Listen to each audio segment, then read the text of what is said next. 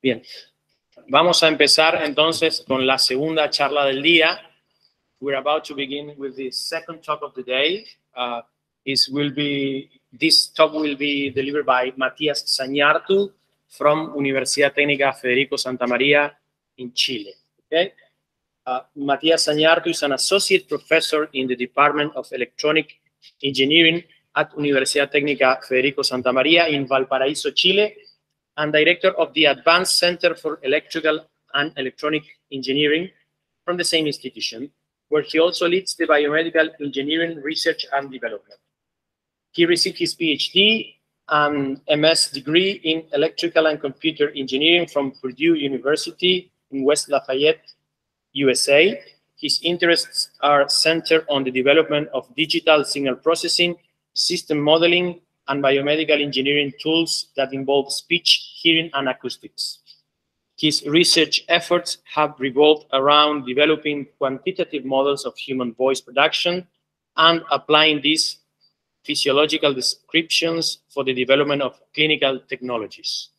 Dr. Zañartu has more than uh, 50 uh, publications indexed in Web of Science, 150, more than 150 presentations and international conference, and four PCT patents. And he also serves as an associate editor for both IEEE Transactions on Neural System and Rehabilitation Engineering and the Journal of the Acoustical Society of America. He is member of the Technical Committee on Speech Communication of the Acoustical Society of America, a Fulbright Fellow, and IEEE Senior Member. Dr. Zañartu is also co-founder of Lanek SPA, a tech company dedicated to the development of biomedical devices that has received various awards, for instance, Corfo, I, I, IE, and Avoni, and uh, also public and private funding. Okay, so I will uh, present now Matias Zañartu for this second talk. Thank you very much, Matias, for being here with us, and I hope you will enjoy your talk. Thank you, Marcelo. Okay.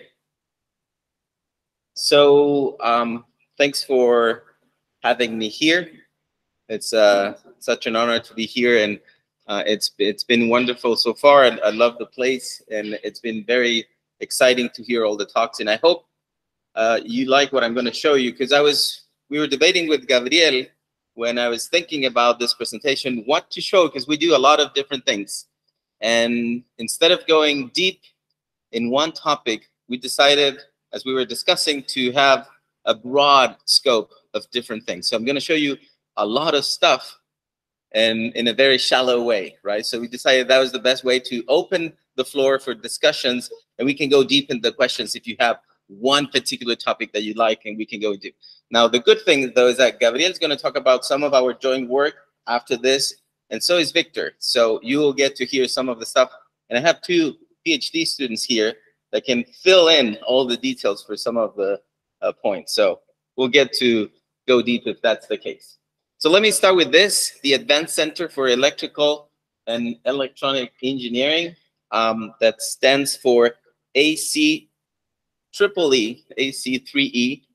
Uh, that's, that's the three E's. This place, um, it's been around. It, it involves, uh, it, it is at Santa Maria, and but it, it, it also involves eight other universities. This is a group of 37 researchers, 15 postdoc, more than 200 students. And I have the lucky to be the director of this operation. And we recently moved to a new building. Uh, this is located on campus. So hopefully this will be the first meeting. Um, it was supposed to be the first meeting for the STIC-AmSud project, but it didn't work out. So hopefully will be the second meeting at some point on campus in Santa Maria, which is in Valparaiso. These are some of the pictures so you can have an idea. It's a beautiful, it's a beautiful campus with right on the cliff with a beautiful ocean view. Uh, if you have any questions, Ivan can explain you the details. Um, it's very, it's very pretty and it's a perfect place for, for getting together and having these profound discussions about science. We're located about a block from the main campus. Um, in this new building, and it has also pretty good view. I I have to take a picture of myself so you can see that this is the reality, right? That's the view we have from the lab, which is ridiculous. This is absolutely ridiculous. But it's a great place. It has, it's brand new. We've been here for about a year. They had all sorts of lab space, office spaces. The students get to use uh, open design for the offices. These new uh, places for um, getting together, places for workshops, lab spaces and benchmarks, uh, acoustic recordings, and we do all sorts of things. Uh, it, given that this is not just biomedical, it's electrical in general. We also have robotics, we have electromobility and artificial intelligence applied to hardware and so on. So we, we fabricate our own electronics in, in-house. It's a, it's a fantastic place. And we also do a lot of outreach. So we have visitors. These are actually my kids. That's Nicolas, Julieta, and Madel. So they really like it's a it's a place where even kids think it's fun, which is that I think that's a life accomplishment. When your kids think you're doing something fun, that's great. It's a great feeling. So so it's it's a it's a very fun place and we do very cool stuff. So this is a snapshot of what we have done in the eight years we have as a center. We have about 700 papers more than 12,000 citations for those 700 papers. We have graduated about 700 students, a good number of doctors. We have a good number of patents that have been granted, uh, and so on. But I think the key thing, I think we're 37, of the 37, 31 of those 37 people are actually associate editors in IEEE or ASA and so on uh, journals. So, so they're well uh, regarded as, as top researchers. And the key thing is that this center receives funding from the government to do research in a long time window. So this is a 10 year grant that it's renewable for another 10 and then for another 10. And you have to bring some private funding, private or international funding. So the, the numbers that are really outstanding are these. So we have more than 12, uh, 14 million US dollars as funding, depending on the rate. I used to say it was 20, right? But it's now it's 14. It's the same amount of Chilean pesos, but you know what I'm talking about. Um, we have 2 million so far from uh, NIH and other grants from the from from international agencies, and about 3 million from Chilean companies that have put money into our research. So this is really outstanding for the Chilean scenario. So we are like an example of how centers should try to connect with industry. So it's a, it's a great place and I'm very happy to be the director of this operation. Let me, let me start, given that I want to talk about very broadly to hopefully open some connections for you. Um, I'm going to start with the research line within the center that does biomedical engineering. So as a group, we aim to assist diagnosis and treatment using the tools we, we use as electrical and electronic engineering by focusing on developing devices, modeling, and analysis of signals and systems. I'm the PI of this research line along with Pamela Guevara, and we have four other researchers in the area Weinstein, Orio, Delano, and El-Deredy. And we have six postdocs working in our group. So what we do in a snapshot is this. Um, we focus on four topics. Neural and rehabilitation engineering is one of the key topics we work. Biomed biomedical signals, sensors, and devices is the other one. Biomedical data analytics and physiological modeling. So these are the topics we work on. Just to give you an idea of what others do, and because I'll I'll be talking about voice in a minute, but before we get there, uh, Pamela works in this idea of um, uh, connections in the like neural wiring in the brain. So she uses a technique called uh, diffusion MRI to to get idea of the fiber bundles and how these connections are, are identified. So she does all sorts of clustering based on MRI and her technique. She uses these clustering and based on the clustering, she's able to uh, predict connectivity in the brain. So, so brain function and how this area is connected to this area. And she, she does all sorts of um, ideas to identify the, the connections. And she's been looking into this uh, in normal subjects as well as some, some pathological cases. For instance, here, multiple sclerosis. In her collaboration with uh, our researcher, Patricio Orio, Patricio Orio is into modeling of, of neural systems using something called neural mass models. And using neural mass models, they have been able to create a dynamic model of the brain using the, the information of the connections, the connectome.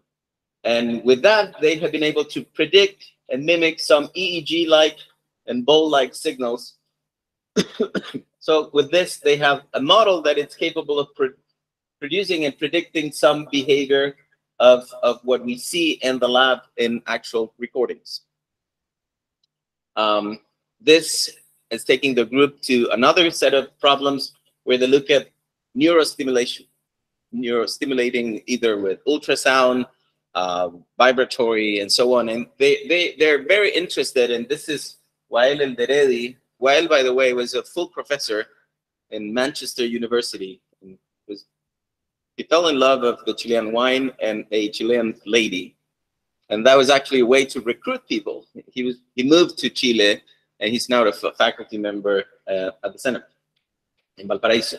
So he's, he he does modeling of large-scale brain network for neurostimulation, and they model using the previous descriptions how the brain operates and how certain uh, stimulation in one area can affect other areas of the brain. This was done in, in this idea of stimulating neural behavior. And they have this, we call it the triad of network oscillation and behavior. So, so they study the idea of stimulate the system and see if that changes behavior. And this is called neurostimulation. And we had a project or neuromodulation. Neuromodulation, it's a type of stimulation where you change behavior by stimulating a particular band. So for instance, if you want to stay focused, you stimulate a particular band that could help you to reach that and have that behavior. And and we tested this in a project funded by a copper mining company, where the idea was to test uh, a cognitive loading assessment and performance in high altitude, so with the lack of oxygen. So you tend to do pretty bad under, you know, reduced amount of oxygen. And they were able to demonstrate that if you excite the neural system, essentially wearing a simple device like this, you can have a frequency of 20, 23 hertz, which was stimulating a particular bandwidth or, a particular band. And with that, your performance and your cognitive test got better. This is what neuromodulation says, and we were able to test it out. And the idea was to have something that was an, a tool to assist the performance in certain tasks that are have to certain decision making that happens in the mining industry in high altitude, like operating certain vehicles and so on.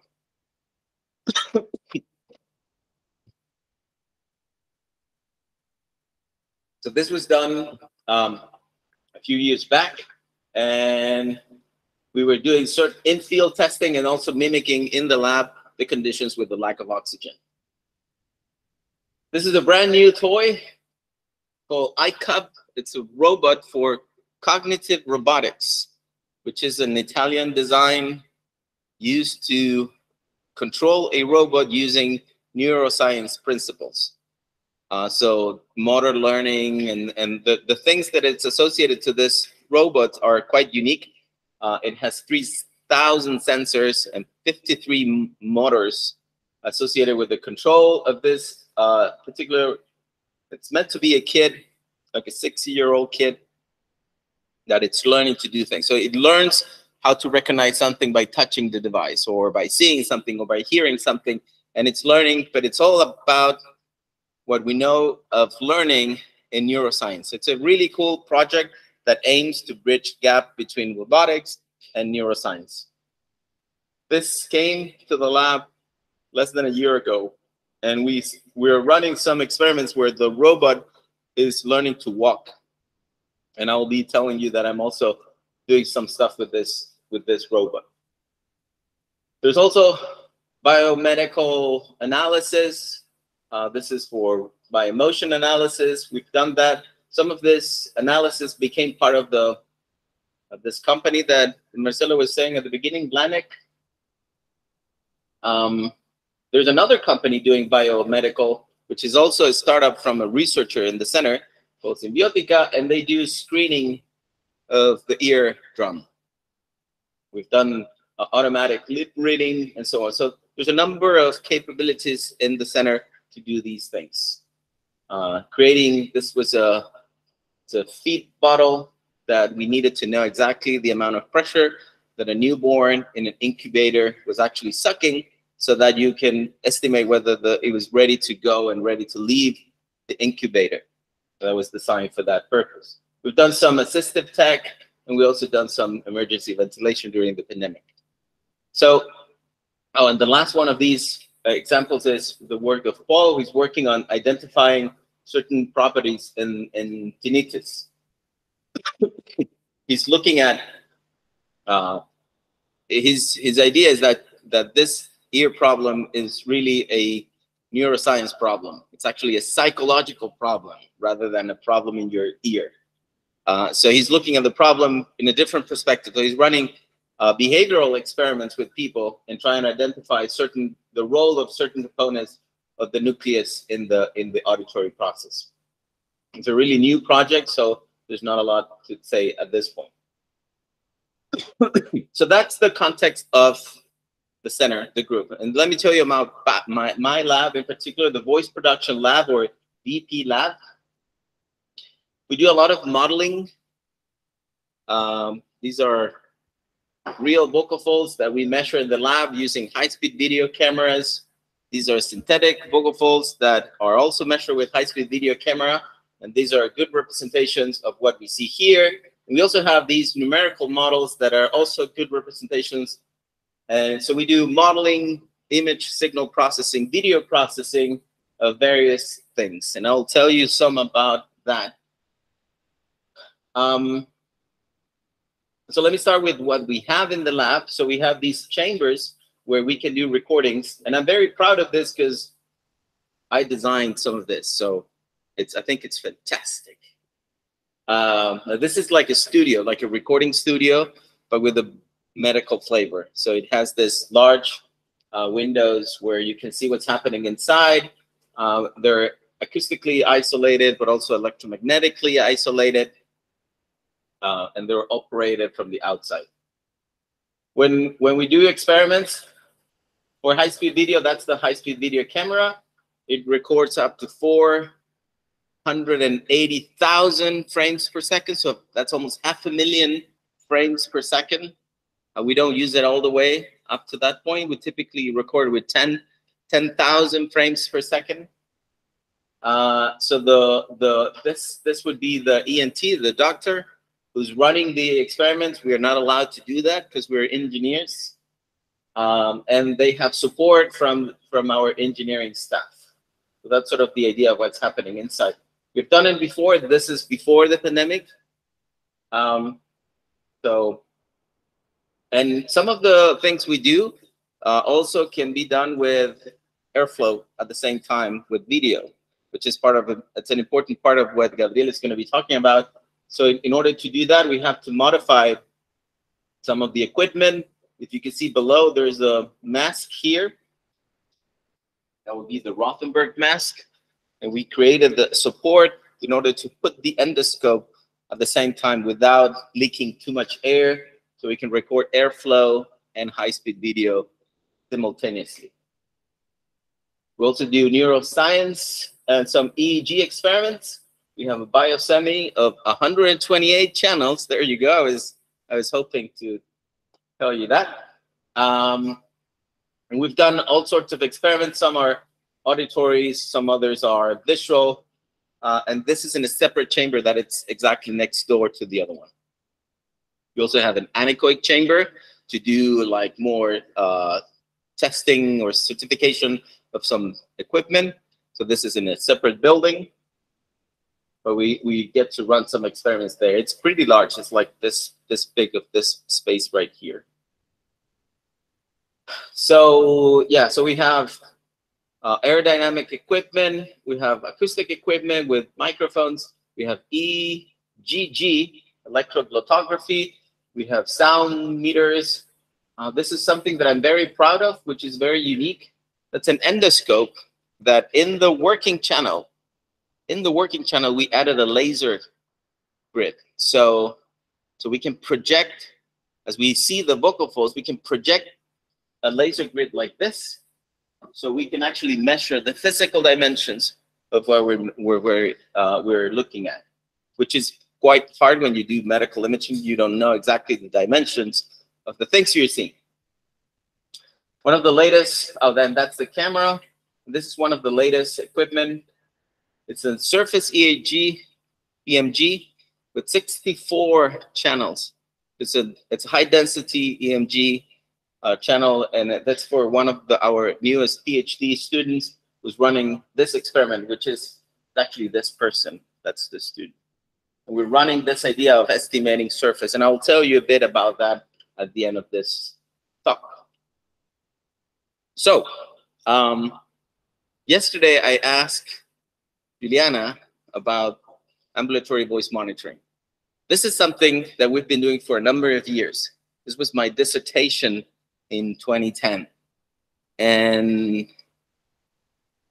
this is something that we developed as a tool that was connected to a smartphone, an accelerometer that goes into your neck and allows you to record skin vibration, skin acceleration for hours and hours and hours, eight hours a day, three weeks.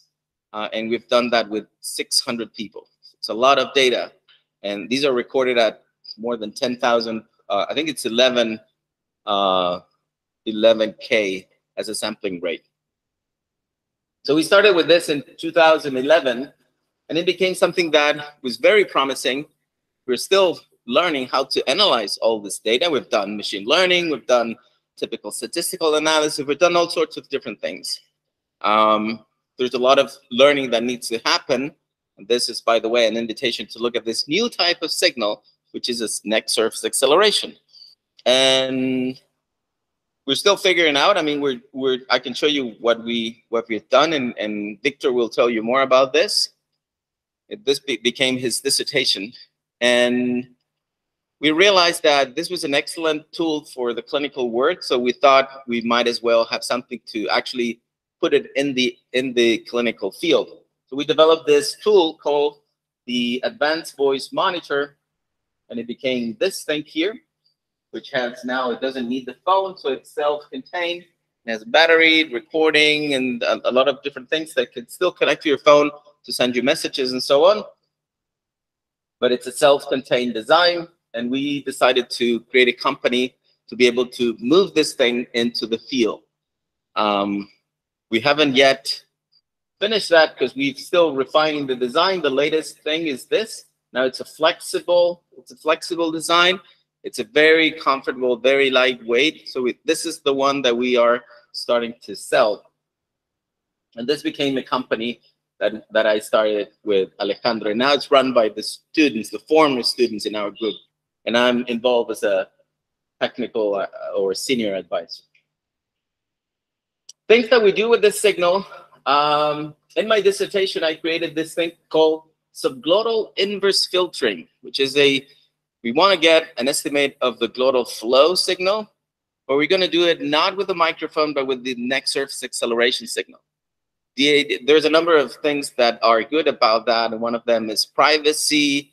Um, there's less of a resonance, right? So you don't have these crazy formants moving all over the place. This is a steady subglottal resonance that you need to identify and cancel out uh, and and it's non-intelligible. So that's why the privacy it's better. So it's not like having a microphone. So you can actually do it uh, across time, and and you can have these things. So our one of the first things we did was classifying uh, and using information to get that. And and Bob Hillman, which is one of our collaborators, it was part of my PhD thesis committee, um, wanted to get aerodynamic parameters, AC flow, MFDR, those those things. Uh, he wanted to have that across the day, because they they when they go to the clinic, a patient go to the goes to the clinic, they typically record with the Rothenberg mask, and they ask them to say sustained vowel ah or say pa pa pa pa pa, and they get all sorts of analysis and say, oh, you have this or you have that, or you're recovering well or you're not recovering well.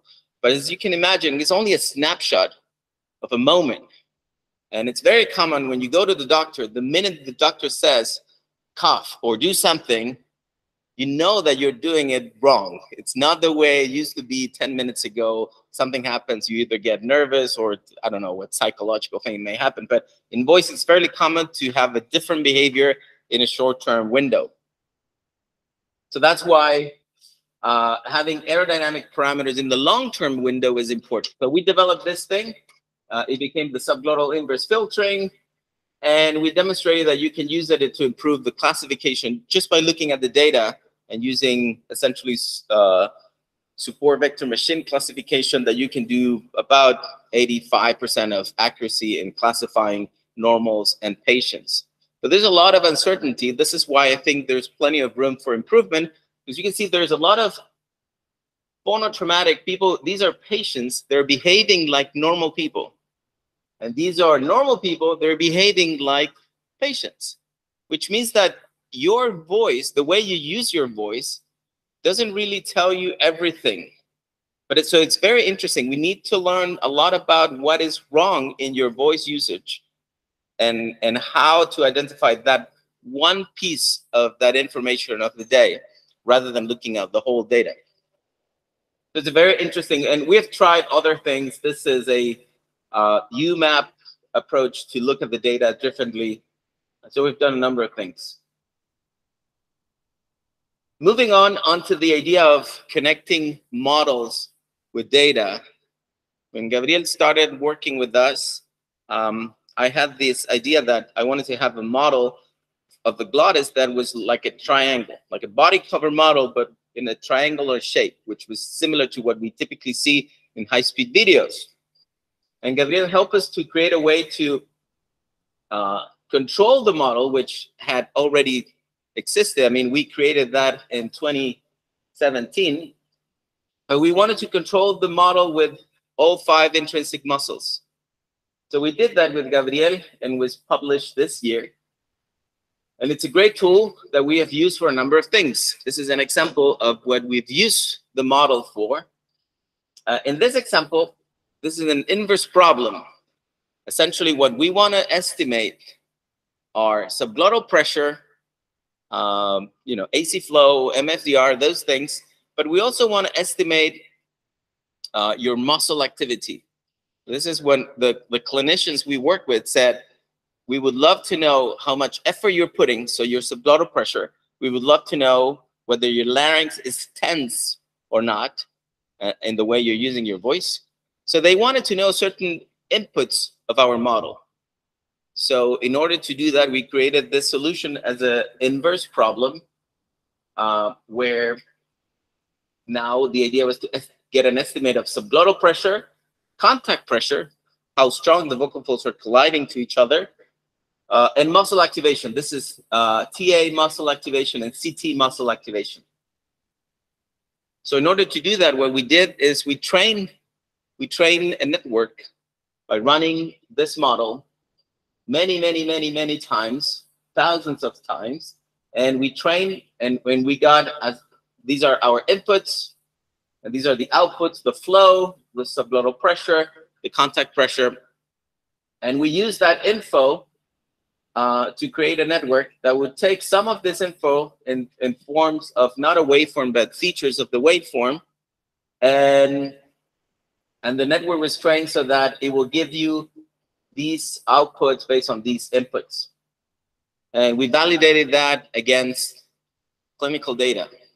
So it was not, everything was trained using the model, but it was validated against clinical data. That was a high complexity problem, but because you, if you use only the model info, you will get a different architecture and different uh, way of thinking about this network. In fact, the network is actually very simple because it was the best fit for the clinical data. Uh, so that's something where we use the model for. And I don't know if you, uh, you're not going to talk about this, Gabriel, right?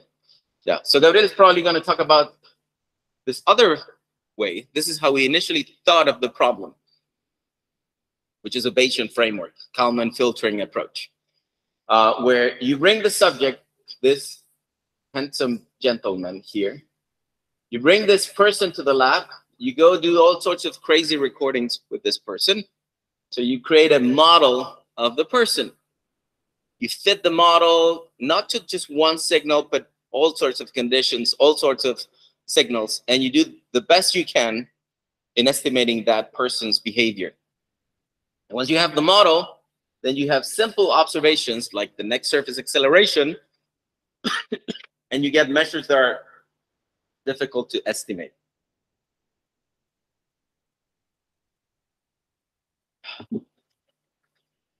So this is what we did with Gabriel in 2020.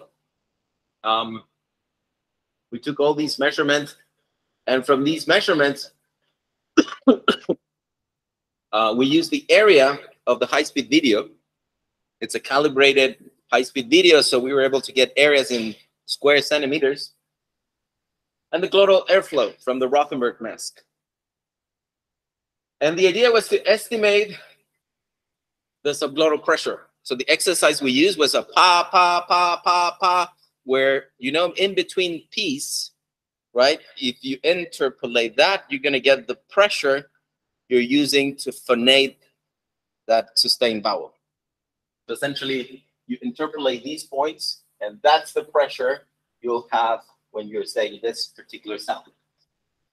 So the idea was to estimate the same thing without knowing this signal here, uh, with the idea of estimating subglottal pressure directly uh, from the accelerometer without having to say pa, pa, pa. So you can estimate that throughout the day. And this is our validation. We tried two models, and I'm showing you the beautiful one. Uh, there's a, a, horrible one that I purposely erased of this picture. Um, and we needed to use two signals to get that performance, both glottal area and glottal flow. Emiro is now working on using only flow, which is only the accelerometer to do the same task. Um, but the beautiful thing is that it shows that you can get not only your estimate, but your confidence intervals. This is why the Bayesian framework is useful because it gives you not only an answer, but how good or bad your answer is. So that's the part that we like a lot about this uh, problem. Emiro is now working on a constrained version of this. When you add additional information, it could be from a different recording. And now uh, you can only use uh, the flow and not just flow and mask, right? If you only use the flow, you can use the accelerometer as your only input and then we can run this. So the problem with this, and the reason why we went to the neural network, uh, it's because this is very computational and expensive, whereas the other one, you can run it in real time. It's very inexpensive. When the, once the network is trained, it's only just a simple multiplication of factors and you can run it real time. Uh, but we're trying the approach uh, from different angles. To continue, high-speed video is a really cool tool. And one of the things we wanted to estimate was the contact. So how strong the contact is between the vocal folds, because that's supposed to be one of the factors that leads to the development of nodules. When you have nodules, it's typically thought because you're putting too much air, and that essentially produces too much collision in your vocal folds. So we wanted to estimate that, but it's very hard to measure that. In, in collaboration with Harvard Medical School, which is part of our grant, we have an NIH grant with them. um, we developed this thing that you can barely see here, but there's a sensor there. There's a piece of metal that goes into the vocal folds. It's actually measuring contact pressure. It's disgusting? Yes. Is it dangerous? Yes. So this is not something you're supposed to do. We were allowed to do it in a patient with cancer that had one of the vocal folds removed. So it was attached to the other left, to the left without vocal folds. So there's less risk of destroying one of the vocal folds by doing this experiment. This was done by Steven Zeitels, which is a highly regarded uh, surgeon in Harvard.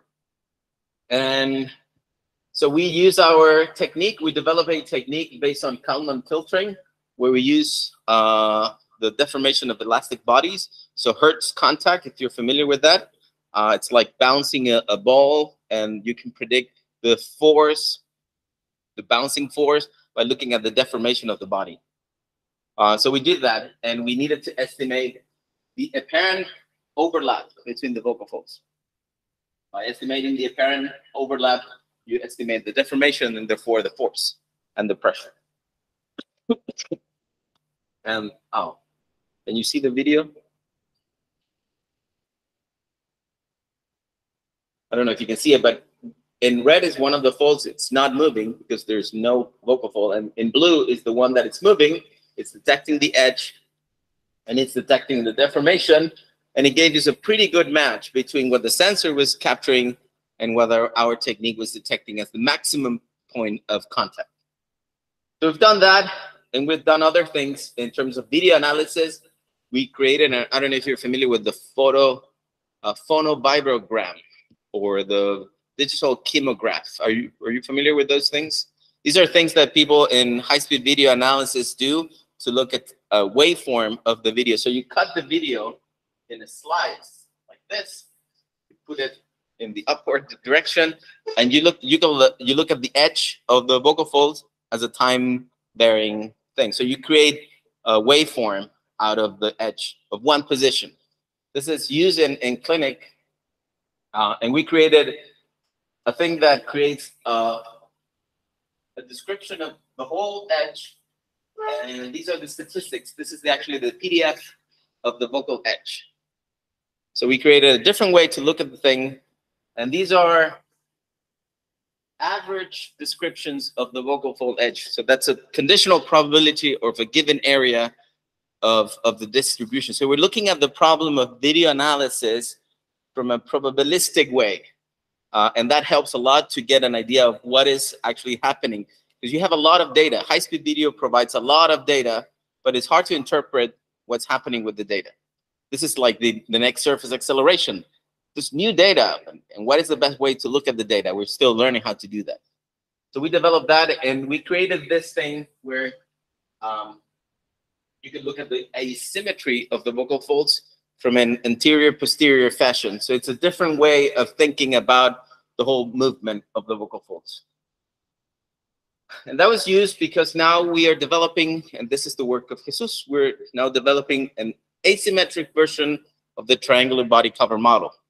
In the asymmetric version of the triangular body cover model, we want to know whether we can mimic some of the recordings we have seen for patients with paralysis, patients with uh, muscle tension dysphonia. And so we now have a version that is capable of having different left and right vocal folds. And, and Jesus had to work out all the contact mechanics, which were different when you have asymmetric behavior. And we're looking at all the properties in order to mimic what we want. So we're now in the phase of comparing what the model predicts and what the data says. And this is an example. This is with vocal fold paralysis. This is what you would see in a kymogram. So this is the same idea that I was explaining. You cut and a line, and then you look at the line across time. You would see these behavior that in red is uh, the left, and in blue is the right vocal fold for unilateral vocal fold paralysis, and this is for muscle tension dysphonia. And you can see that they're not symmetric, and there's asymmetry both in phase and in amplitude. So Jesus was mimicking uh, parameters in order to imitate as a first approximation these behaviors. And you would see that in terms of amplitude asymmetry, the video says 68% of asymmetry and 36% of phase asymmetry, and we're getting 32 and 49. So we still need to work on polishing this a bit better to, to identify exactly what's happening. But this is a new way of thinking about these models because this is asymmetric, but with, thanks to Gabriel, essentially five muscles. So it's not a factor that says your vocal fold is half of the other vocal fold. This is controlling five different muscles. So we can imitate what happens if you get paralysis in these two muscles or in this one muscle. So you can you can start playing with this. So it becomes really difficult because you have way too many parameters, but this is what we think we need to be looking at.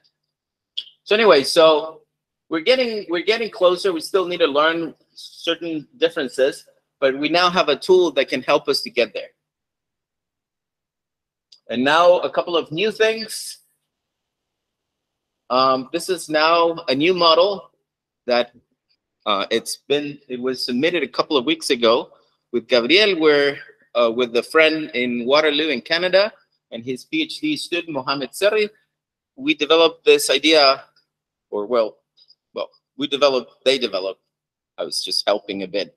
Uh, a, a version of the model where you have now extrinsic muscles. This is fairly new because uh, most of what we've done is intrinsic muscles, but the outside muscles in the neck are very large. So if you can get an idea of what these muscles do, you can get a very good idea of how to model uh, muscle tension dysphonia that affects both internal and external muscles.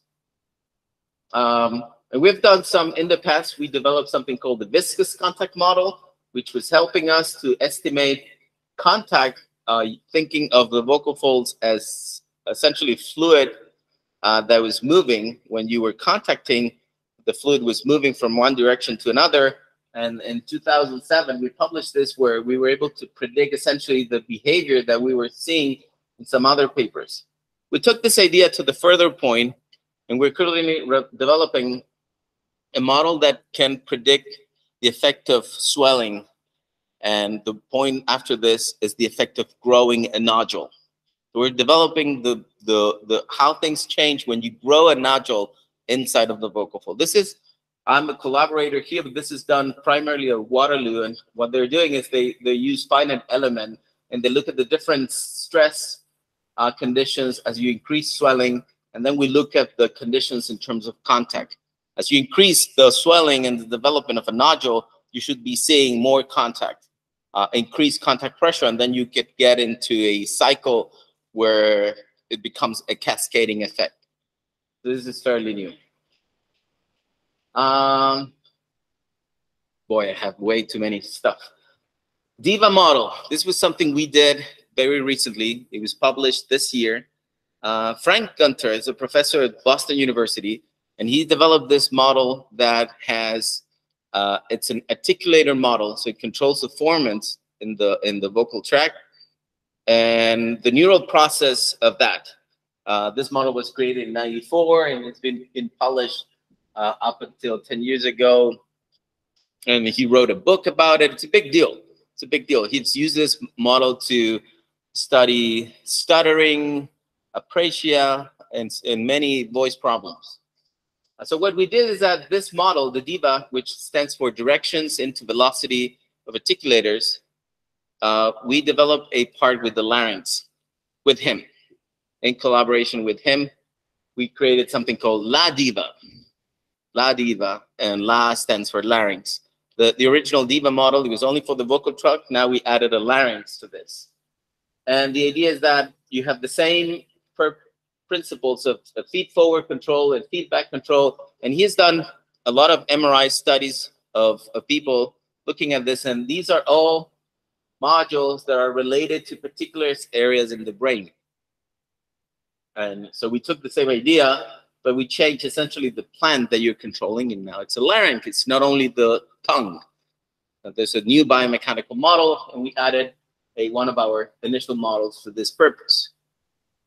And Gabriel was involved in this effort, uh, and we think this this particular uh, development is is opens the door of how we think about models because now this is not a model that has laryngeal muscle control. It also has the ability of hear the output, hearing the output, and changing the behavior for that. we did some developments uh, and compare against some data. So we validated the model. Uh, this is a reflexive paradigm, and this is an adaptive paradigm where we change the um, we changed the the way the the the model was hearing itself, and it was compare against data. So black line is real data from from normal subjects, and the different colors represent different conditions of the parameters. So you can get the same behavior if you tune the model uh, properly to mimic the, the subject group. Uh, so this is an essentially a way that the model is actually, what's happening here is that the model is hearing a particular tone like uh, and at some point it changes to uh, and you're supposed to do the same steady sound and you're hearing yourself changing, although you're not doing this, right? It's a signal processing in real time. You change the feedback and you see how that perturbation changes the behavior. So this is what people do when that happens. That's a black line. And the model is actually capable of mimicking the same behavior. And this is the same idea, but in an adaptive fashion. So you slowly start changing the baseline. You change a bit, one hertz, and then another hertz, and then you do it as a ramp. And that way the model so reconfigure itself and subjects do the same thing so this is a validated approach. So this is a brand new track. It's a brand new track for us. And we're currently uh, validating our behavior using EEG. Um, so these are the formant changes, unperturbed in, in red, uh, and with changes in the first formant and the, or uh, you can change it upward or downward in the first formant. And these are the blue and black. And these are the the ERP changes, and these are the source uh, location. This is still early. Uh, this picture was taken last week as a preliminary analysis. So this is ongoing effort. But what we're essentially doing is validating that the model not only produces the right behavior, but also uh, is activating those parts in the brain that were supposed to be activated according to the original DIVA model. And the idea after this is to translate this behavior into this guy. So we're gonna teach the robot, uh, we're gonna program the LaDiva model into the iCub, and the idea is that the robot will learn to speak, and it will correct the way of speaking by listening to itself. That's the idea. And the last thing I'm going to show you is this laryngeal. This is brand new. Uh, the equipment uh, was in the lab for the first time about a month ago. Uh, so the idea is to estimate laryngeal activity in order to validate the predictions we have with Gabriel and with Emiro and with Jesus in order to, to validate that the values of the muscles that we're predicting are actually right. We need to have a way of, of measuring that activity. And we can do it with laryngeal EMG, but it's very painful. It's actually extremely painful. It's horrible as an experience. And you're not even allowed to do it in normal or controls because it's very painful. So you would only do it if someone has a paralysis or a medical reason that justifies the type of experiment. So the idea is to do some of the laryngeal experiments in cases where we're allowed to do it and record the signal at the same time. And we're going to connect the two by a decomposition of the of the firing rate of the two in order to to do source localization. So this is a new project. It's this is just the idea. The student's just starting. He needs to present his qualifying exam uh, when I get back to Valparaiso. And that's about it. So just to wrap it up, uh, I show you a bunch of different things. In Chile, we have a growing system, an ecosystem that it's it's producing these uh, new ideas of how the scientific community could relate with the outside world, with you know people in the States, people in Europe, and with private companies and so on. And there are many opportunities in biomedical engineering, lots of development in voice, but also in biomedical and medical devices itself. And there are several opportunities for researcher, for visiting researchers, for visiting students, for postdocs. There are many opportunities. So, so I'm fascinated to be here to also uh, let you know about these opportunities. So that's uh, that's that. And, and to finish, I just want to acknowledge the Speak Suit grant that allowed us to be here, as well as other funding that we have that was uh, necessary for the things that I show you. So thank you so much.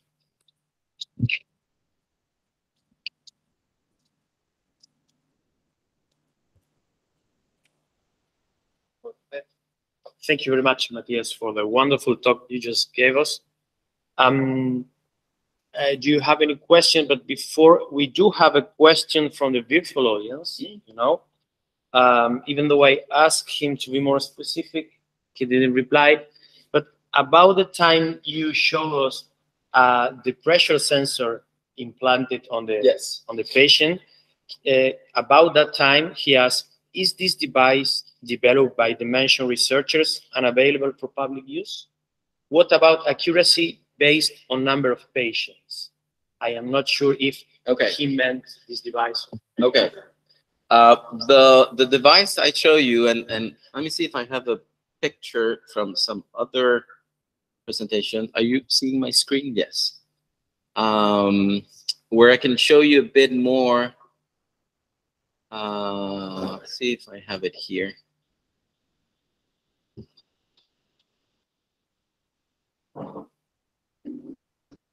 One second. But the answer is no, it's not available. It was a research development.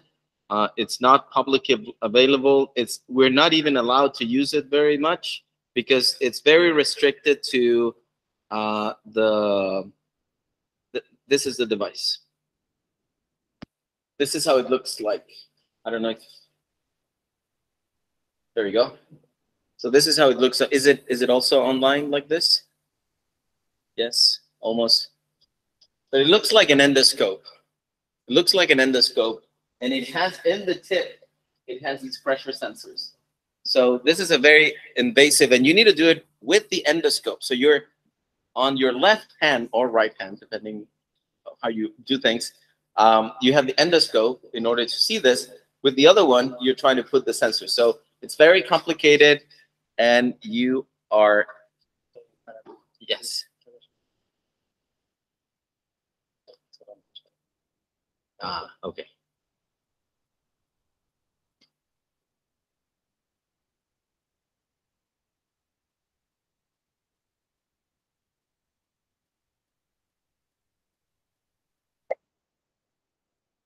Okay, so now they can see it online. Um, so it's a, it's a very invasive design, but it was meant to do validation. So we're gonna be able to record ten people. So far, we have recorded one.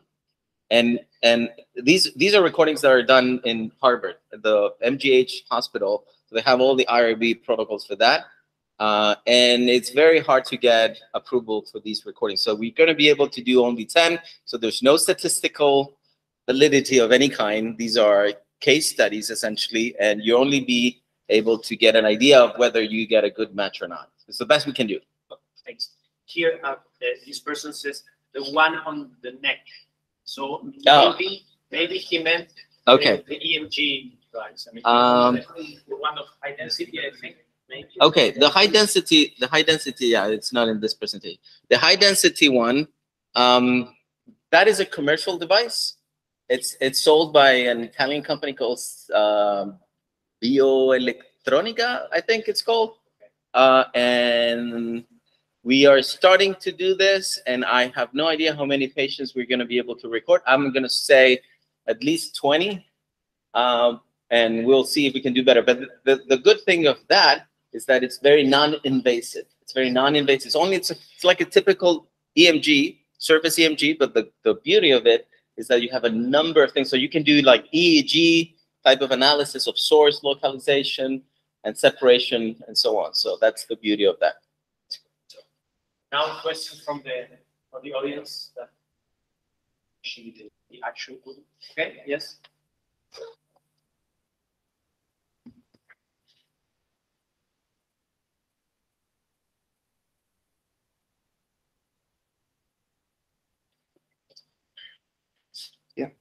Well, thank you. It's Great talk. Many, many things, very interesting. Mm. Uh, perhaps ha- I have many questions, but I focus on your last uh, model. Yeah. La Diva, I think. La Diva, yes. Um, perhaps it's only an idea. it will be interesting try to put some knowledge into this problem of inner voice recognition. Perhaps this type of model can integrate with the EEG data for inner speech and try to mimic uh, this internal voice. In this way, is perhaps a little ambitious because you didn't have a speech signal there, really, but you have the activation of the cortex Yes. and different parts of the brain. And I think that there is a, an interesting opportunity in order to get, as we talked yesterday, models that use knowledge in order to get solve the problems and not only uh, uh, forced by data only. What, what Yes, yes, I, I completely agree. And, um, I think, I don't know, yeah, that's what I, um, I think, and when I saw your talk yesterday, I thought of the same thing. So, so I think La Diva, it's a, it's a, it's an opportunity and it's also an opportunity for what we saw with Humberto in the sense of, of, it's a new model for voice control, for pitch control. Um, I would say that the inner speech, it's related to what in La Diva, and I was trying to load this thing up, hopefully it would work. Is it working? It's not working. See if it's this, I'll try to get it. In La Diva, uh, yeah, so this is the Diva model, and in La Diva, we have these, um, this, this one here, the feed forward controller.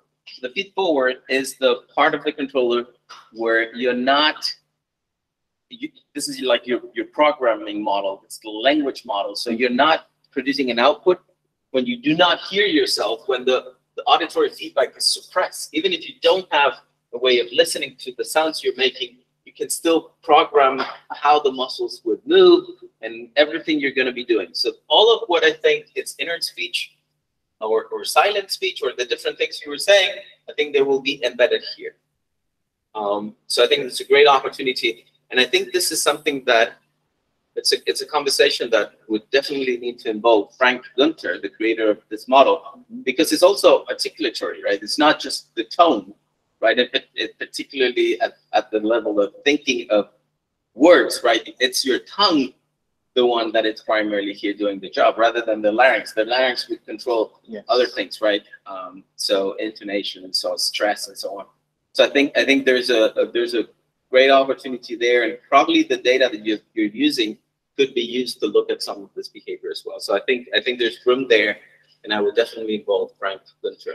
Okay, there are some works from some researchers uh, that use that signals in order to control a speech synthesizer. But I think that this type of model it goes far, and yes, we have to think together. Yeah, absolutely. I would be delighted. Very, very And we I have the same uh, EEG that you use. So, so yeah. yes. Thank you. Thank you. More questions? Any other question? Okay.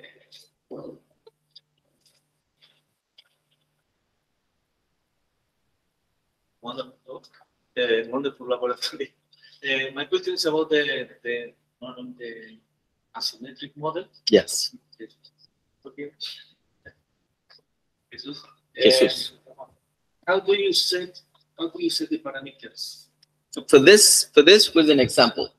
It was an example. It was it was just manual tuning because Jesus just developed this model, like very recently, a couple of months ago.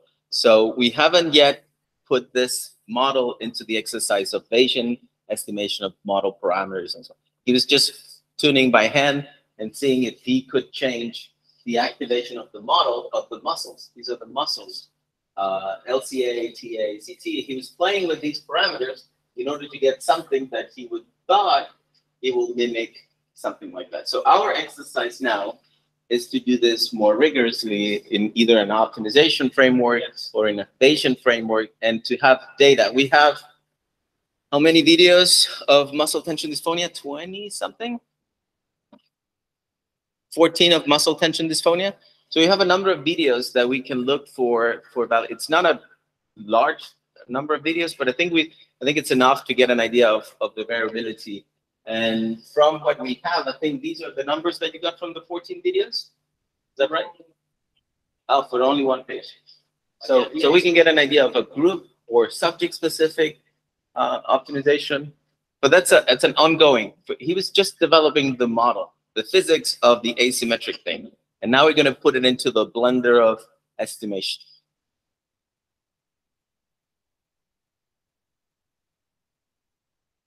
Any other question?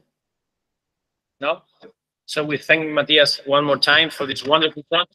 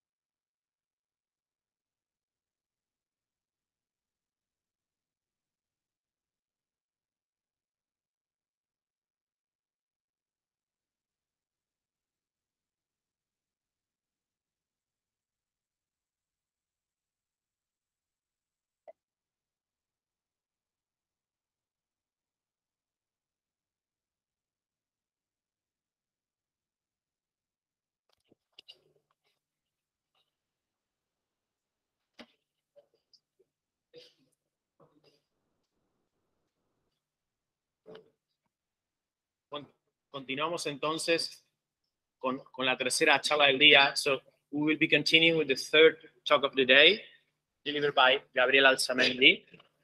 Gabriel received his degree in biomedical engineering from the Facultad de Ingeniería Universidad Nacional de Entre Ríos in 2010. He received a National Scientific and Technical Research, Research Council scholarship for doctoral studies from 2011 to 2016 and obtained his PhD degree in engineering with a mention on machine learning, machine learning, signal and system theory from Facultad de Ingeniería y Ciencias Hídricas de la Universidad Nacional del Litoral in 2016. He obtained a postdoctoral research position at Facultad de Ingeniería UNER, granted by CONICET from 2016 to 2018, and then he moved to Chile to hold a postdoctoral research position at the Advanced Center for Electrical and Electronical Engineering, Universidad Técnica Santa María, from the year 2018 to 2020, under the advice of the Professor Matías Zañartu.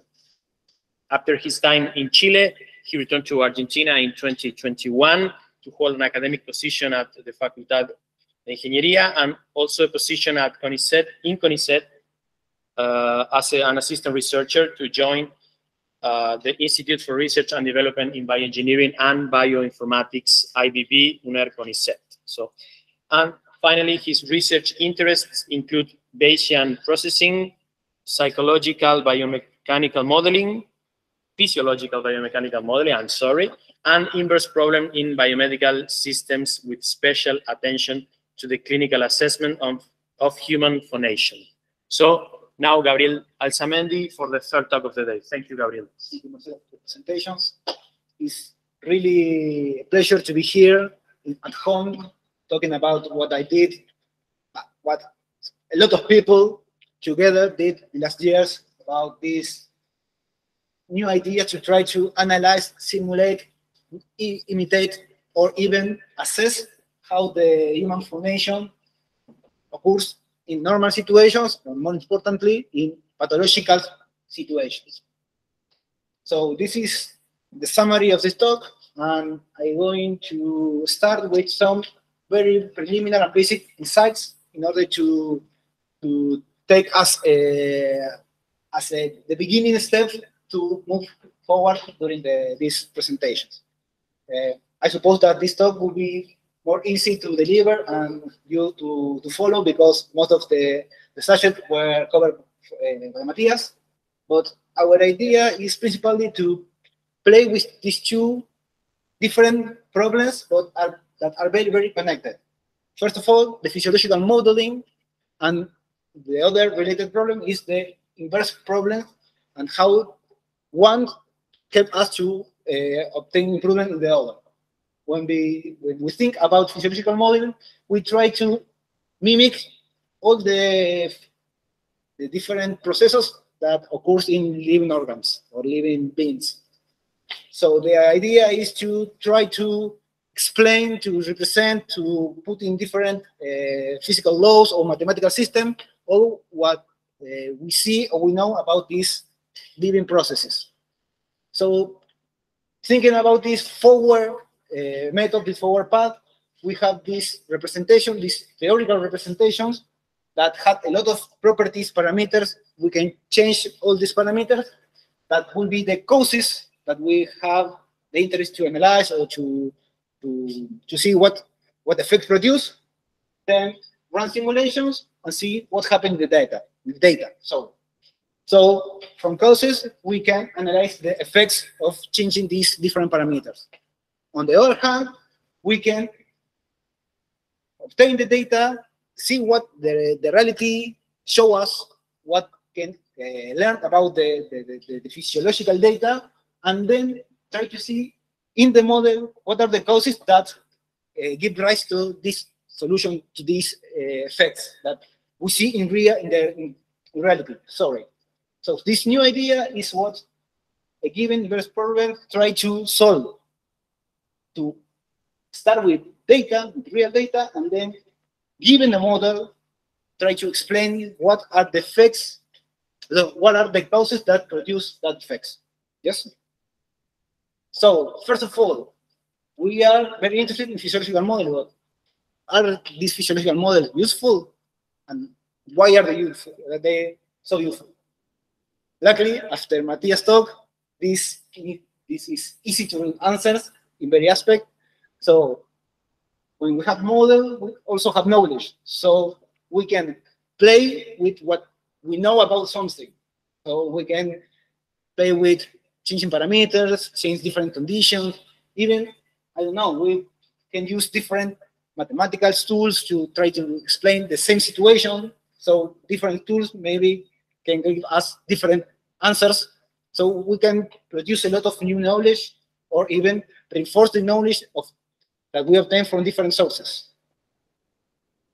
Obviously, when we try to synthesize something, to try to imitate something, we uh, can improve our knowledge. And also, this idea to play with a, a tool has uh, to give us the opportunity to, I don't know, to, to see what's happening in very typical situation, even in fictional situation, for example, how a person could phonate in another planet, but more importantly, what happened in pathological situations. That in general, we think that pathological situations are extreme situations in a model, but sometimes, as Matías told, a, a normal patient, a typical patient, or a patient with a typical phonation, sometimes talk like a normal patient, sometimes like a pathological patient. So these cases that we say that will be odd cases sometimes are more natural, more common that we really think. And also, we can play with different parts of a given bigger system.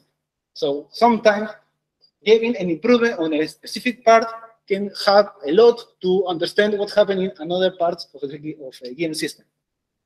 So these are different uh, uh, different ways to how can we analyze a given problem, in particular a physiological problem, and try to attack or tackle the difficulties using different uh, tools. In the case of inverse problems, of phonation in particular, as Matías told us, we have a lot of data that we can see from a patient.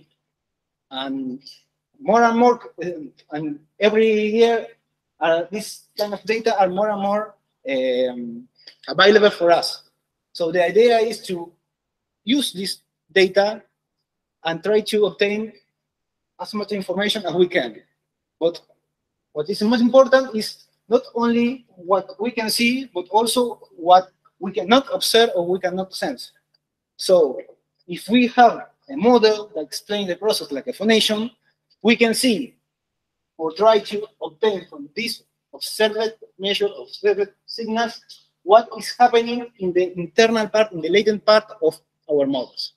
So again, it's a process that is based in a model, in a simplified explanation, but it can give us some internal information, some hidden information that otherwise would be impossible to observe or to obtain. Yes? So, our aim as a group is to obtain insights about the, the pathophysiology of human phonation, but the, we want that these new insights were useful to solve relevant problems in the clinical assessment, assessment of phonations. In particular, in this talk, the idea is to describe past and uh, present, present effort that we were we were involved in the last five years, and also we hope that this discussion sparks some discussions and some collaborations with other colleagues here in Argentina or other places in the world. So now I'm going to briefly introduce some different efforts that we we do in, in the last years, starting with the structural analysis of peak period sequences. So, for example, we have this signal that is the representation of the sounds of the vowel A, and when we hear the vowel, seems like a very stable sound. But when we analyze in detail these sounds, sometimes we can estimate different parameters describing some perturbations. For example, if we detect how periodic the signal is, we can uh, sense this kind of period for every cycle.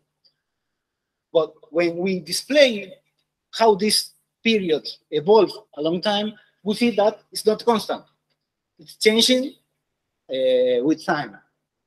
So having this information, we can try to obtain mass information, much more information, uh, but that this information will be sometimes useful to explain what's happening inside the signal. So what other people do in the past is to use what's called perturbation analysis of the period sequences.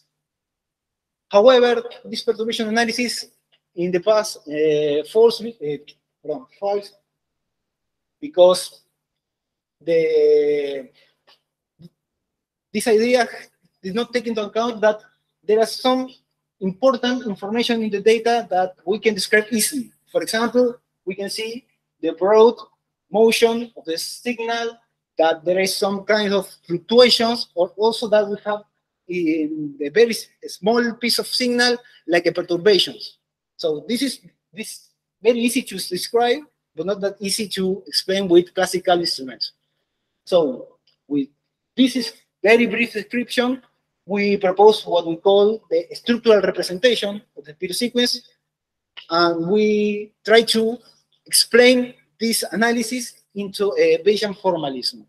So with this mathematical framework, we have the opportunity to not only explain what is happening, but also to analyze the signal and obtain this kind of information uh, for every real-time signal. So the idea was quite simple. We have these three different phenomena. One vocal profile that gives us the, the slow motion in the signal, something that describes the fluctuations, oscillations, and the, the last part that try to explain this perturbation, this local perturbation in very, very near scale. So we take this idea to uh, then put them into a Bayesian estimator. In particular, we use Kalman filter and smoother. Also, the Bayesian formalism allows us to obtain a optimization framework that allows us to obtain the, the better fit for our data, for every real life data. And then after we obtain this, this best model, we can estimate, we can separate the all the information that we want from a given period sequence. So here you have an example for a healthy for um, period sequence. So you can see here at the top in gray the original period sequence, and then you can see the estimation that we obtain from this vocal trend for the cyclic or the fluctuations, and then for the perturbations. Luckily, the same tool worked for pathological cases. So, so the, the model was general enough to be useful to describe similar situation both in healthy and pathological cases. So we use this tool in this data set with pathological and normal cases. And we not only analyze how this, uh, this structural analysis, so sorry, this structural element evolve in time, but also how fast they change using the discrete difference of these signals. So we can see that for the case of these changes in time, all these parameters were very useful to try to separate or to describe what's happening in normal and what's happening in pathological cases. We can see that for the structural elements alone, this differentials is not that evident. So, uh, also, we try to compare this idea with some tools for the for the classical methods. In particular, one useful accuracy parameter called jitter uh, is, was, is one of the most applied uh, values to try to measure uh, period perturbance in the in the vowels, in particular in the sustained vowels. So we try to see these new tools how compare with these classical classical parameters. So we run different uh, correlations analysis, and we see that the most strong correlation was with the cycle component, not with the trend, neither with the perturbation component. Therefore, we have a new, a new uh, proposed uh, element that fits to the, this classical parameter called jitter. However, we also have two other new information that do not correlate well with this uh, parameter. Therefore, there are new information or more information that we can obtain uh, from these new these new signals. Uh, one more thing that you can see is that from a given real life signal, the, the voice, we can obtain another different signal that are, that are, are sorry, all artificial, are made by the man. See, we cannot measure, but we can build it, right? So the next uh, idea to describe involves the voice inverse filter. Again, the notion of inverse something, inverse some system or some processes. The idea here is, briefly speaking, when we produce a sound, we uh, we change the flow, the airflow, uh, crossing through the, through the glottis. We modify this, this airflow in the vocal tract, and then we radiate the sound through the lips. This is the physiological point of view of phonation. However, we can summarize this process using only two elements, what is called the glottal function and the vocal tract. Uh, doing that, we can even uh, simplify the, the, all these cases and think in that we have a current source and a filter. So we can apply uh, mathematical, uh, classical mathematical theory. But with this, uh, this simple representation, we're able to reproduce and simulate sounds.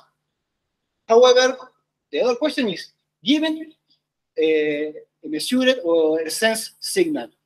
What can I say about the source and the filter that produce that sound? So the idea of solving this problem is what is called the voice inverse filtering. The idea, the idea here is to obtain from the given signal, for a given voice signal, the two components that produce this signal as a result. So I'm going to introduce briefly two different ideas. The first one was a proposal uh, in my PhD thesis. The idea was to apply Bayesian inference to solve this problem. For that, we made some assumptions. For example, the glottal formation in for the production of vowel are quasi-periodic signals, and also that the vocal tract is eh, a dynamic system, but with a very slow variation, slow with respect to the glottal flow. So using these two hypotheses and a mathematical tool called time variable autoregressive model with external input, we build a state space method and put all this information into a Bayesian processor called Kalman filter.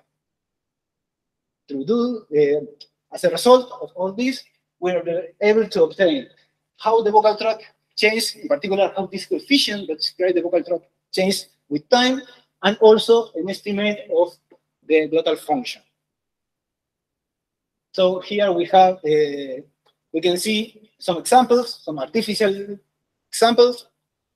Here at the top, you can see two different signals, one from a vowel A and another from a vowel E. And you can see there in the second row, the estimate of that glottal function that I, I told before. Then integrating this signal, we can obtain the glottal airflow because the lip radiation can be modeled easy by uh, differentiation in time. So to go from this signal to this one, to the glottal airflow, we need to integrate the information. And finally, in the last row, we can see the spectral representation of this vocal tract filter. The more important thing that we can try to see in this, in this kind of representation is the position of these peaks that correspond to the formant frequency in the vocal tract. So uh, these in blue lines are the result with our method, and in red, I think that is very difficult to see, but are the result with another classical method called uh, EIF. And in black is the theoretical information that was obtained with a physiological model. So we can see that the results obtained were quite well, uh, even in the same, even improving this classical method. And we try to measure how well uh, our method, uh, how well our method results with this physical IIF method. So we compare the error in the estimation of the glottal flow, and we can see that, in general, our method provides a, a, small error compared with the classical method. And also, this is for the glottal function, but the other part of the problem was the vocal tract. So we also estimate how well our method estimate the, the position of the formant, and we compare it with the classical method IAIF and LP. This LP is the classical linear prediction method that is not that good for inverse filtering problem, but for the estimation of glottal formant is a classical tool. Here we can see that in general, both our method and IAIF improve classical LP uh, method, but in some situations, our method provide better results than this IAIF method. And as I tell you, we try to build a dynamic model. So here we can see a dynamic process. This is the change from a, an A vowel to an A vowel. And we can see that our model is able to follow the most important, they is able to follow how the first formant, this line, and the second formant, how they evolve along time. Yes?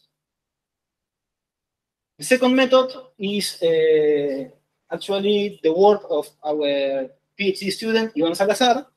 This is the a brand new result that he published, sorry, he presented in a conference in Chile two weeks ago. You can see that we use a very similar model. In this case, in this case we use the autoregressive model. And even we know that linear prediction is very classical and very easy and very powerful. However, it has a lot of limitation when we try to apply it for reverse filtering. There are other uh, alternative to solve this problem. One of the most uh, the more classical is provide a closed phase linear prediction analysis. That means that use the information only during the closed phase to apply linear prediction.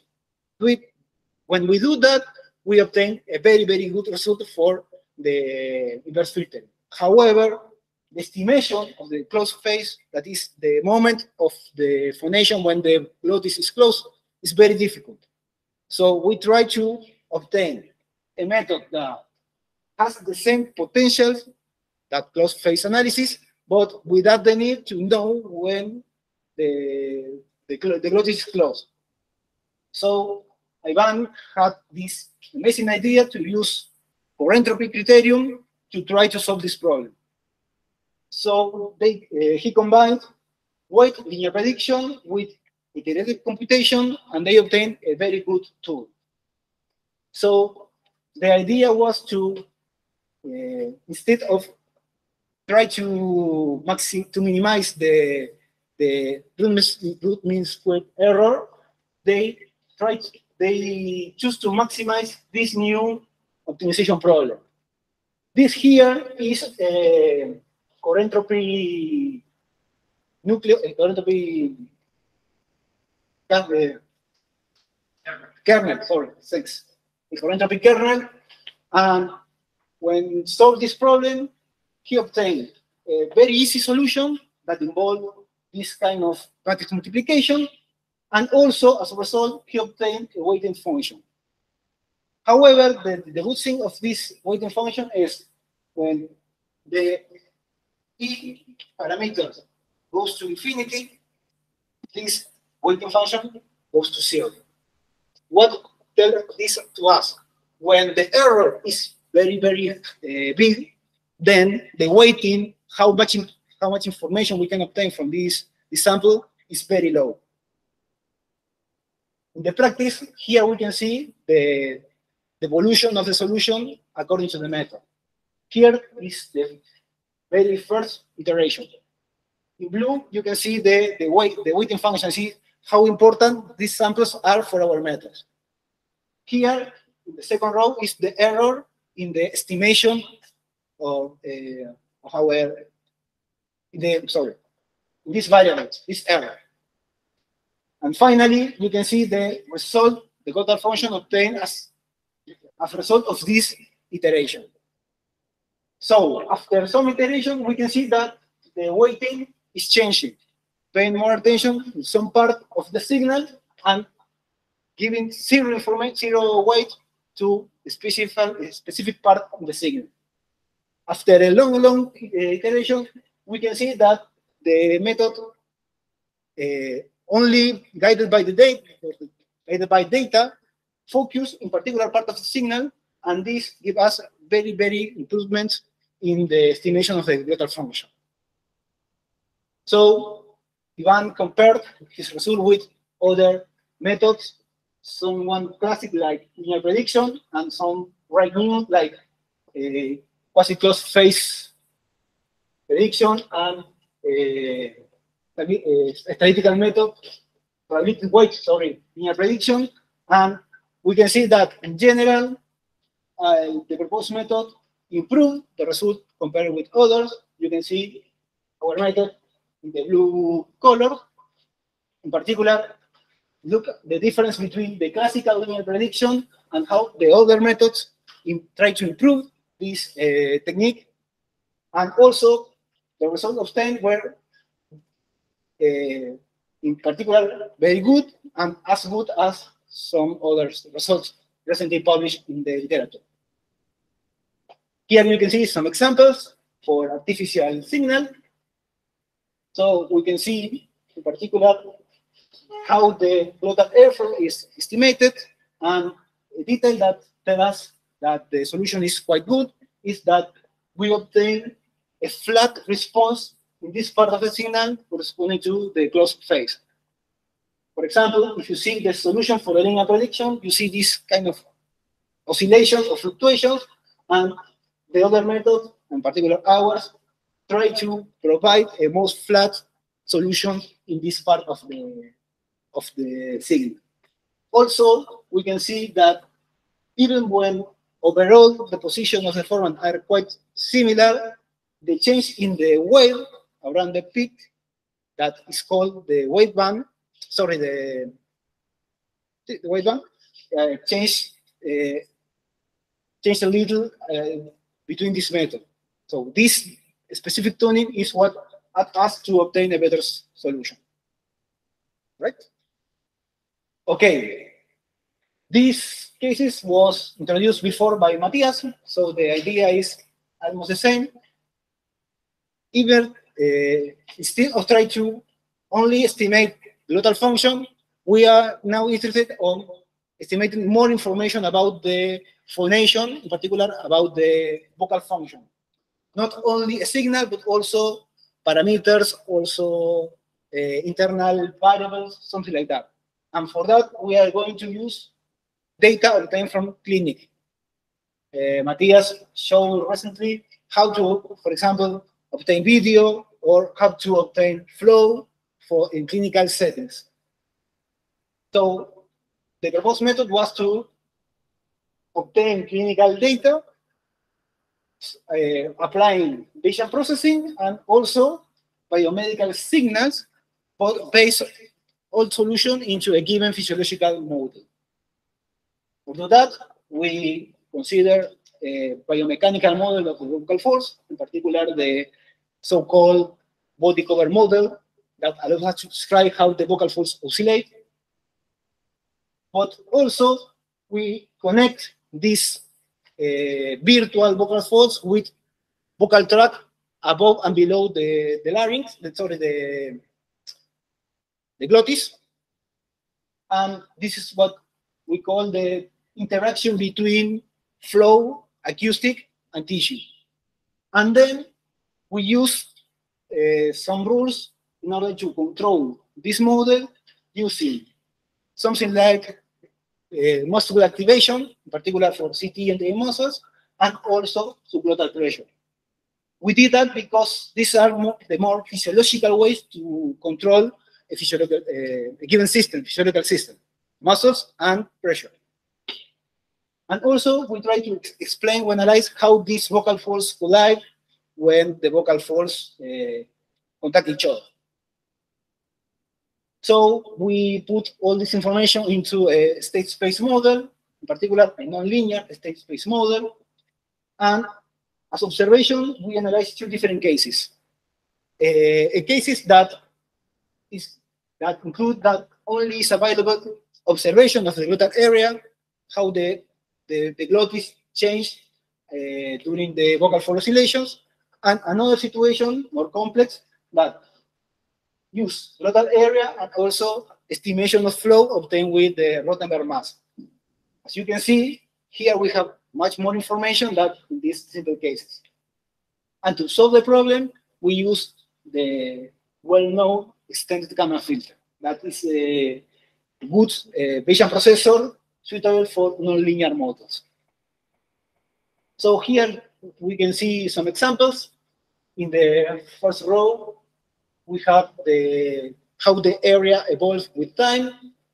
In the second row, we can see how the measured flow is evolved with time. Uh, just for give you another information, what we sense with the mouth is what is called the oral flow, the flow in the mouth. But what we really know, or what really interested at, is the flow at the glottis. So to to move from flow at the mouth to flow at the at the glottis, we need to use another reverse problem. So what you can see here is the solution of this inverse problem that provide information at the glottis, how the flow is crossing through the glottis. These two informations separate the two different cases we analyze. The first case, we only have this information, and the second case that we, we solve is combining these two information in a single model. Here we can see the estimate that we obtained for subglottal pressure and for contact pressure. As we can see, the red solution is when using only glottal area. And blue solution is when we combine flow and uh, subglottal pressure. What we see in this case is that when we combine suitably these two kinds of information that we can obtain from a given subject, the solutions were more stable and more physiologically relevant. Here is the, the experiment that Matías described. The idea is to uh, say ba, ba, ba repetitively and to measure how the pressure in the mouth changes when the, the mouth is, is closed and when you say ah. When the mouth is closed, you can see that the pressure try to, to be similar or almost equal to the subglottal pressure. And when you say ah, the measured pressure goes down, but you obtain sounds. So when you extrapolate, sorry, when you interpolate these two peaks, you can obtain something like the phonation pressure. So again, in red, we have the solution using only glottal area. In blue, we have the solution with the combination of glottal and flow, uh, sorry, glottal area and flow. So this is the result that Matías delayed. Obviously, they're quite wrong, but you need to, to understand that here we have much more information, information that combine not only the biomechanics, but also aerodynamics. So the solution obtained in this second case is much more reliable, much more accurate. And this is why the, the idea of the video is also very interesting for us because we can try to move this bad solution to something more readable, but using some kind of constraint or more information, oh, sorry, or adding more information in our model. So the last application is what Matías also present in his talk. It's about this idea of the muscle control physiological model of phonation. So the idea was to obtain a quite simple computational model, but that we able to describe with enough detail the complex process involving phonation. So this model has several parts. In particular, have the simplified representation of the larynx that combine not only the oscillation of the vocal fold, but also the geometry of the glottis, and also physical coupling in particular for us, it's very important to describe as accurate as possible this pre-fold interaction of the glottis, how the acoustic pressure and, and tissue uh, coupling or interact during the phonation. Uh, and also try to represent how the sound propagates uh, above and below the glottis and also how the, the sound is radiated at the, at the middle. So let's try to see a little more about the simplified representation of the larynx. Here you can see what we really know about the larynx, about the anatomy, about the physiology, how, how is the internal structure of every vocal folds, and how these vocal Eh, evolve during a given vocal fold oscillation, we can see that this system follow a waving motion from uh, bottom to top. So in order to mimic this same physiological and anatomical information, we uh, construct a biomechanical model. The, the triangular body cover model was proposed by a former student of Matías in 2017 or 18. And in this opportunity, we add a new uh, strategy to control the shape of the glottis and how to uh, to apply a dynamic system to simulate all these uh, glottal accommodation, changes in the glottal flow using uh, muscle control by the intrinsic muscles. So we obtain a system that allows to control all the process using the five intrinsic muscles, and also that the system is able to change the internal properties of the vocal folds. So changing the muscle activation, we are able to change the shape of the glottis, but also the internal mechanical properties of the vocal folds. So uh, this problem was solved in two steps. In the first step, we try to simulate how the how was the slow motion of the glottis in order to to accommodate the, the shape in the prephonatory moment, and then to set the biomechanical properties of the vocal folds in order to start the vocal fold oscillation. So we ran a lot of simulations. For example, we were able to describe how the, the arytenoid, that is a cartilage, cartilage responsible of the, the geometry of the, the glottis, move with the changes in the activation of the five intrinsic muscles. So this, this uh, artificial cartilage was, uh, was allowed to move and to rotate in order to obtain different uh, glottal shapes. And also we describe in different cases of co-contraction how the internal variables of the glottis change.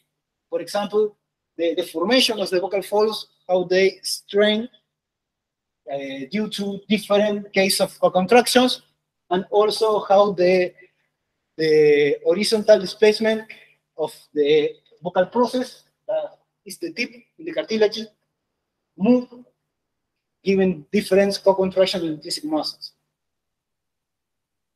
Then we try to simulate the phonation.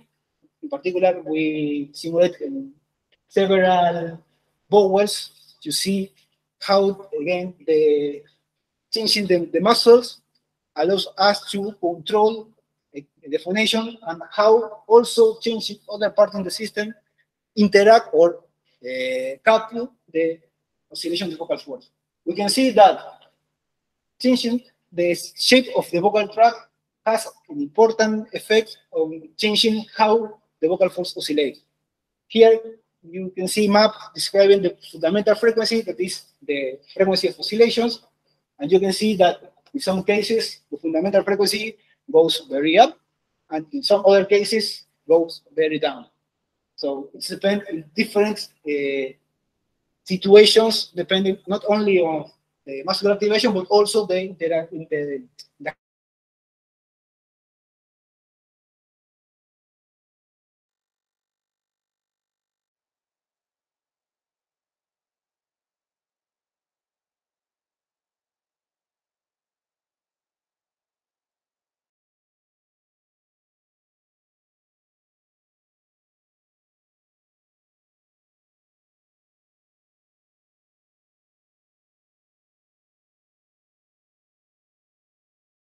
muscular action, mus mus sorry, muscular activation. So we close and open the, the, the muscles, and we can analyze how this change the glottal area, how this change the glottal flow, the acoustic pressure, and we can see this in time and also in frequency. So we can obtain all kind of uh, simulated effects, analyzing different situations, both in time domain and in frequency domain.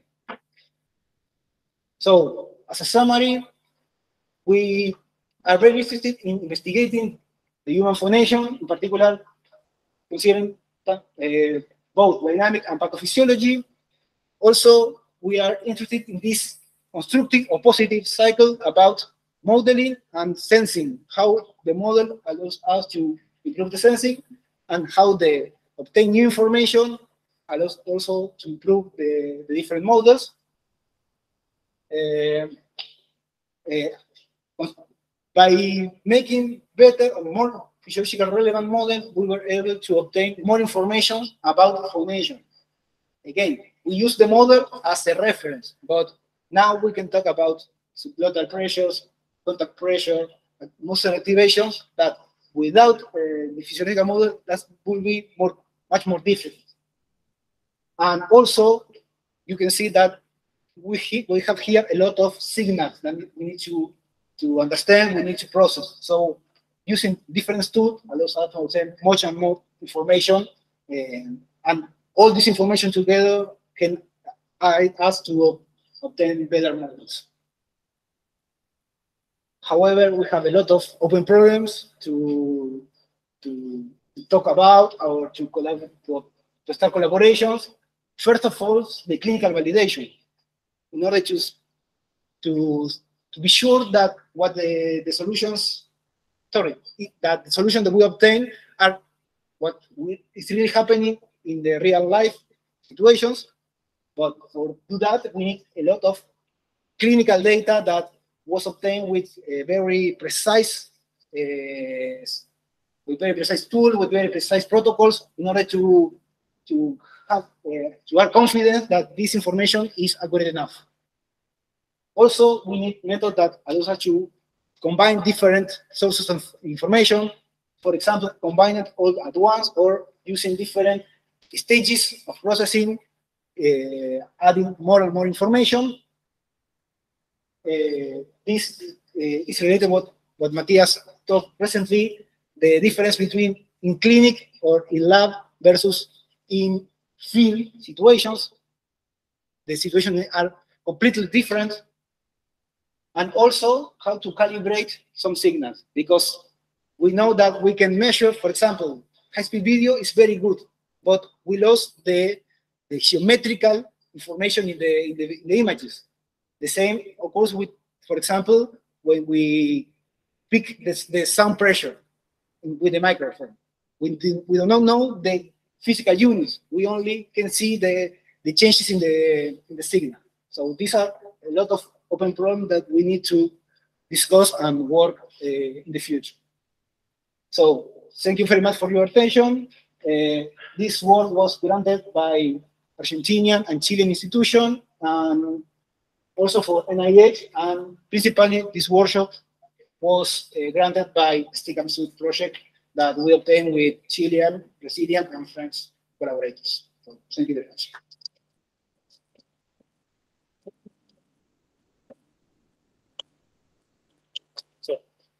Thank you very much, Gabriel, for your great talk. Uh, if you, if uh, we have uh, questions from the audience, yes, Joaquin.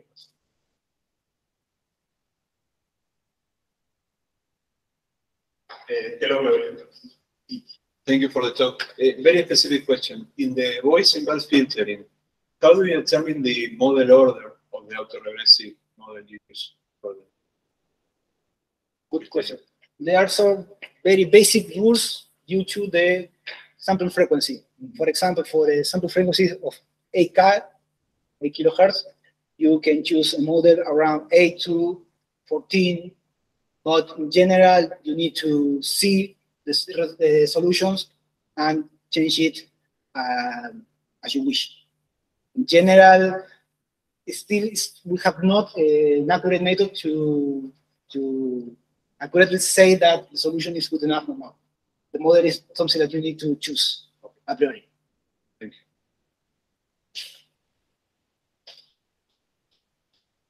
More questions? The question is about, can you the slide thirty-three?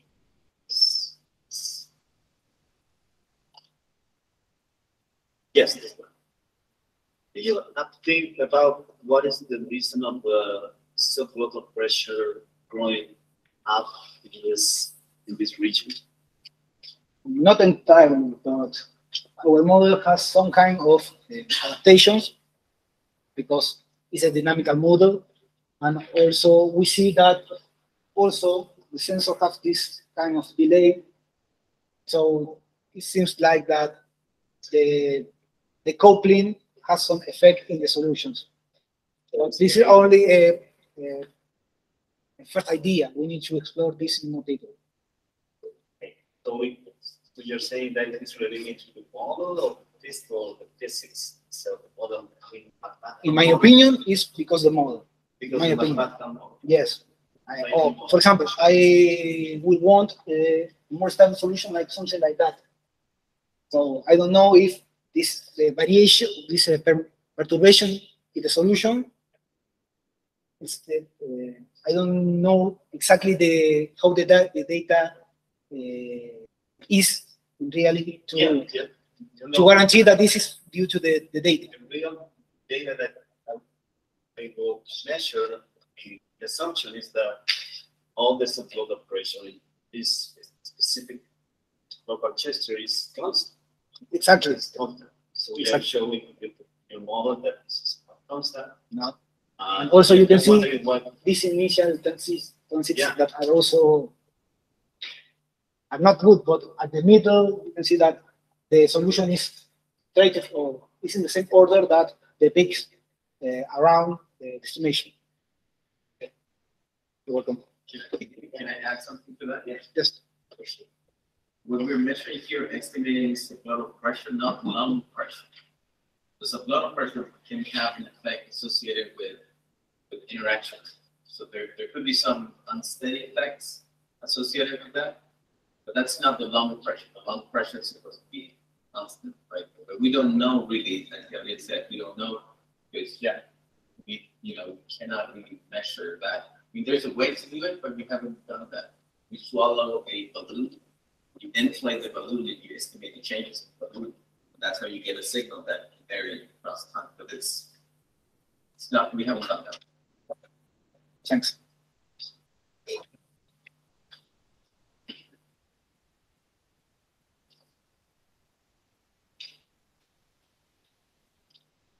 Thank you, Gabriel, this presentation.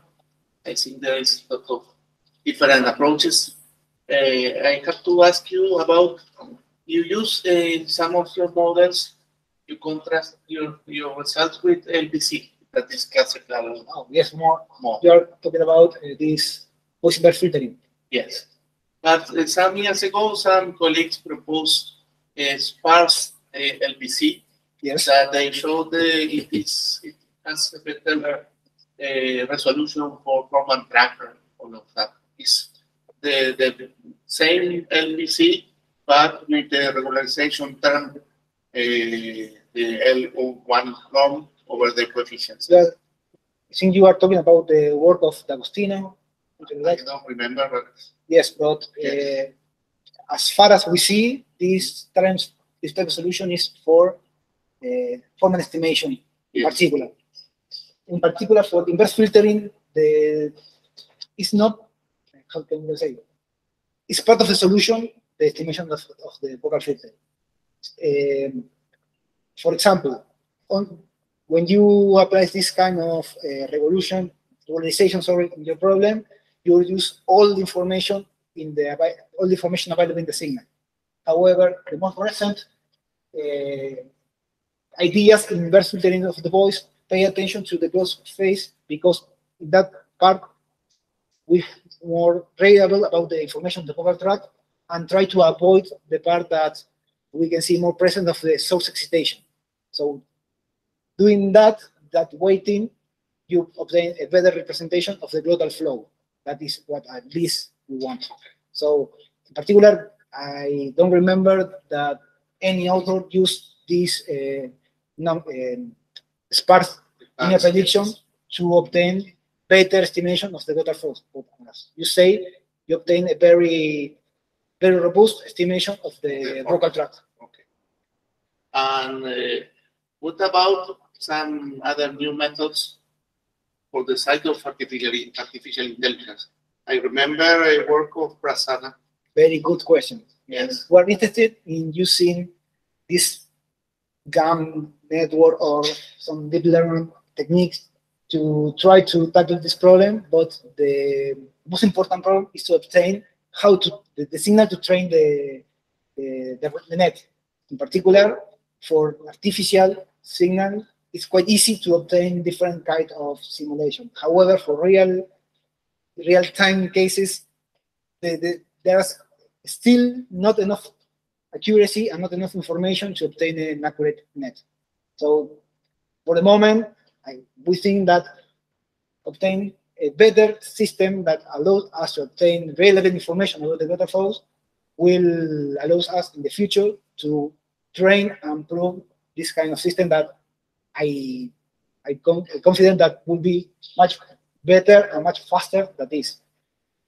And perhaps uh, you have to fuse both idea, knowledge base, and again, a database approach to, to get a better uh, solution. Yes, yes, yes, yes. That's a very good point. Thank you, Leo. Any other question from the audience? No? Okay, if we do not have any more questions, then we can thank Gabriel again. Thank you. Now, now we're having a coffee break and we will be resuming at 4.30 p.m. Ahora cortamos hasta las cuatro y media de la tarde cuando arranca la última charla del día. Gracias.